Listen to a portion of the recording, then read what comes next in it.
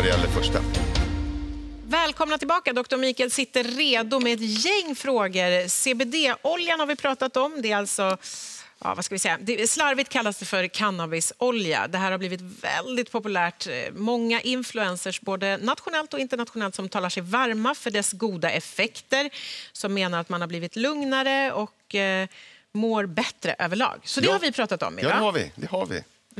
Eh, nu ska vi se här. Vi har fått frågan här från Karina. Jag har MS med mycket nervsmärtor och spasticitet. Kramp, spasmer, ja. kramper. Har hört att CBD-olja skulle vara bra. Hur gör jag för att testa det? Undrar Karina. Ja, det här är ju en av de indikationsområden som finns då för eh, man kan säga medicinskt marijuana.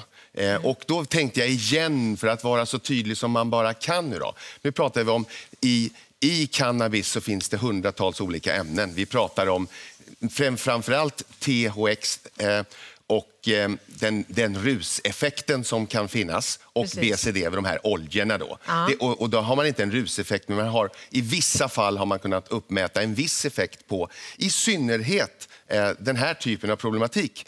Eh, spasticitet, nervsmärtor och Ja. sånt. Vad det gäller medicinskt, så eh, cannabis då, som ofta figurerar i, i, i i pressen och så, där finns det lite av den här tetrahydrocannabinolen, den här ruseffekten. Där finns det en liten sån. Ja. I de här oljorna är det bara det är CBD, nästan. Så att det vi pratar om vad det gäller oljor är en ganska ofarlig substans som inte har ruseffekter. Mm. Men det finns ett litet inslag av dem i det medicinska. Vi Just har det. något som heter Sativex till exempel, ett läkemedel som man kan skriva ut i Sverige med den här inriktningen på MS. Då. Men då borde ju Karina som har skrivit här, Ja. hon borde ju vända sig till en läkare Ja, precis. och få det utskrivet på det den bru- vägen. Ja, och det Ja. brukar man ju få när man har MS-patienter och man har den här smärtan är ju av kronisk karaktär. Och då brukar man ha smärtteam så man träffar både, eh, både sj- sjukgymnaster, fysioterapeuter, neurologer, eh, anestesiologer som jobbar i team för att hantera kronisk smärta.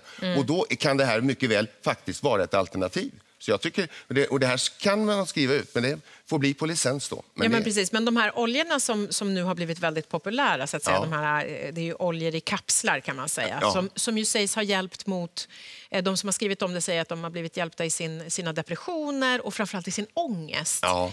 Kan, det, kan det vara så att det hjälper mot ångest? Alltså, om någon säger att jag må, nu mår jag bättre. Det är som mina invändningar och, och, och professionens invändningar är ju den här enorma osäkerheten av vad, vad det är man får. Ja. Man får inte samma sak varje gång. Det är därför vi vill ha det här att man gör riktiga studier, man skyndar långsamt, man tar fram det som ett läkemedel och doserar och ger det. Då är alltså biverkningarna och problemsidan också känd. Så man inte bara prövar lite, det kanske fungerar och ingen utvärdering. Så ska man inte hantera läkemedel. Det är där invändningen finns. Men om man nu är väldigt... eh, Om man gillar en influencer och så läser man på Instagram att jag känner mycket mindre ångest när jag tar de här eh, oljekapslarna. Ja. Kan man då prova det som vanlig människa? Då är det ju här, alltså, det, här, det här är en gråzon och det är ju, är ju förhållandevis ofarligt. Ja. Ja, men säger någon, vi kommer till en sån här intressant fråga. Varför släpper man det inte fritt? För cannabis har ju inte dödat någon. Ja, men vi har exakt en sån fråga från Sofia här. Eh, vi ger ju folk morfin och amfetamin i olika former på sjukhus. Folk blir beroende, folk blir missbrukare. Ingen har någonsin dött av cannabis. Det har använts som medicin i flera tusen år. Fullständigt fel. Det har det visst. Det har gifteffekter på hjärta, på lungor. Det där är en myt och det kan jag direkt gå emot. Det har visst dött tusentals, jag vet inte om mer, vad det gäller överdoseringar av cannabis. Så att säga det här, ingen har någonsin dött och raljera, vilket jag brukar bli beskylld för. Men nu gör jag det då åt andra hållet. Ja, det här är farliga grejer. Det här är knark. Jo, det finns en risk med att bara släppa det där fritt. Sen är det politiska beslut och andra saker. Men den här myten om att ingen har någonsin dött av cannabis, den kan vi avliva. Avlivad myt helt enkelt. Eh, här har vi fått en fråga från Marie. Jag är inte sjuk men tränar väldigt mycket och jag har hört att CBD-olja är bra komplement till kost för att förbättra återhämtning och det gör att kroppen är redo för ny träning snabbt. Positivt tänkte jag. Du som älskar träning, Dr. Ja. Mikael. Ja. Eh, vad tycker du? Ja, jag väntar tills att jag vet att det är så där. Jag tänker försöka tillföra min kropp så lite droger som möjligt då, tills jag, förrän jag vet att de är bra. Eh, det kan vara så, får vi se en framtid. Det är väldigt lite forskning gjort på det här, och det är gjort på, men inte på idrott. Eh, eh, och delar av de här komponenterna är, är dessutom dopingklassade. Så man, jag skulle nog säga att det, den, den visade effekten är, är ytterst begränsad. Så du, egentligen så är det liksom att du vill ha vetenskaplig grund till? Ja. Du säger inte att det behöver vara fel, Nej. men du vill att det ska finnas studier gjorda Ja, på det? och, och, går vi tillbaka i med medicinhistorien så är det mängder av eh, preparat, ämnen som har kommit ifrån naturen. Extrakt från olika växter som man har använt sig av, som är jättebra. Mm. Men det ska, bara, det ska inte vara vilda västern kring det här, utan det ska ske under kontrollerade former. Och det är inte så bråttom att vi måste, alla måste få de här medicinerna imorgon. Det Nej, men jag tänker så här, inte. kanske om man är i ett akut läge rent medicinskt, alltså om man kanske har smärta, då är det ju nu. Och jag då är ju och risk och vinstförhållandet fullständigt... Om man har en patient, kanske en palliativ patient med, med, med svår smärta i livets slutskede, vad är risken? Ja, det är ju ingenting. Så då, då skulle jag säga, då är det, står det fritt att pröva. Men då ska man ju göra det på ett intelligent sätt så att man vet vad som hjälper så att man inte får mer ont. Nej, men vet du vad jag tänker nu? Att skiljelinjen som jag förstår nu när vi har pratat om det här och du har svarat på några av frågorna. Skiljelinjen går ju mellan det som du kan få utskrivet av din läkare, Ja. om jag tolkar dig rätt, Ja. och det som du köper på nätet. Ja, att din oro med det på nätet är att det är fullständigt oreglerat. Man faktiskt inte vet vad man petar i sig. och oftast är det alltså för svagt eller är det, är det sockervatten, det är ingenting. Så man blir lurad och pröjsar tusen kronor om dagen.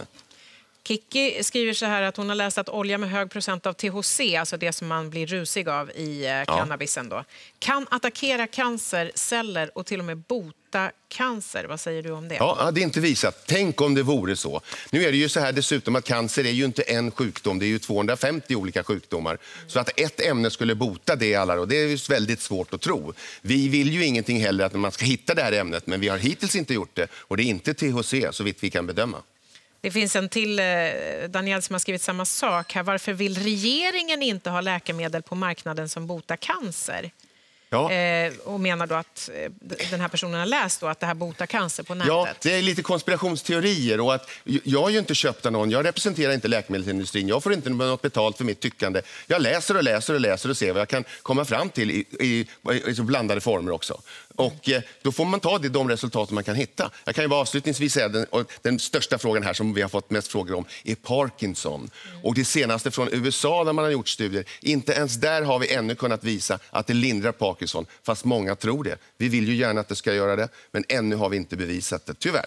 Men eh, man får väl fortsätta och försöka med nya ämnen. Men det ska ske under kontrollerade former.